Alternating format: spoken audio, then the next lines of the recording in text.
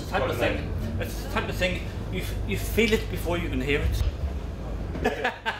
so, uh, but uh, yeah, I mean, obviously, I mean, it's, a, it's, a, it's a wonderful instrument to, to play. I mean, it's just uh, it creates this wonderful kind of foundation and, the in the in the piece where you and, literally you, can feel it as, as well as hear it whenever you're kind of playing and the orchestra whenever whenever the contrabassoon's playing it, it gives this lovely kind of fat texture as well to, to the bass section as well so uh, so it's, uh, no, it's uh, and especially in, in this type of music and when it's outdoor in particular it's I mean it's absolutely wonderful it's a fantastic instrument to have I mean, it's a very rare instrument as well. There's only about I think two that I know of certainly in this country and, and perhaps in Europe so it's, it's, it's a pretty rare instrument.